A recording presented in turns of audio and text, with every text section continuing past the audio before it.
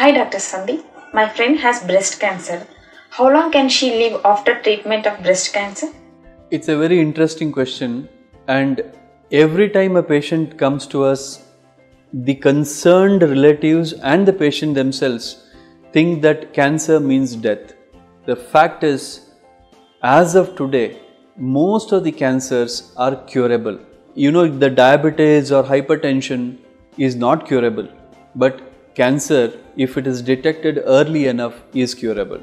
So, what is the survival rate worldwide today? The 5 year survival, which is a statistical value by the by, is about 90% for early cancers today. So that means 90% of the patients who are detected with early cancers do exceptionally well.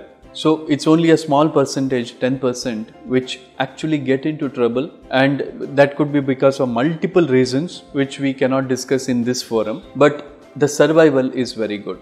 But to survive, you have to go through the right kind of treatment. So there are times when some patients will not go for right kind of a treatment, they go for or they delay treatment by a form of denial. They deny that you know they have cancer, they just don't want to accept it, they sit on it. Sometimes people think you know pain is not there, so I will sit on it.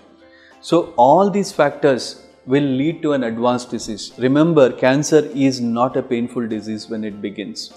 Most of them are absolutely painless. So because of this, many people simply sit on it and they don't take medical help. So such scenarios, the patients don't do well.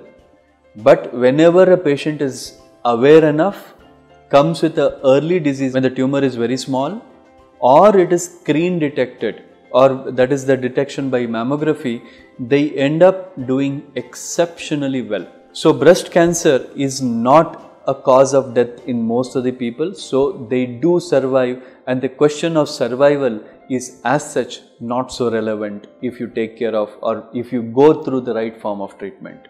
Thank you.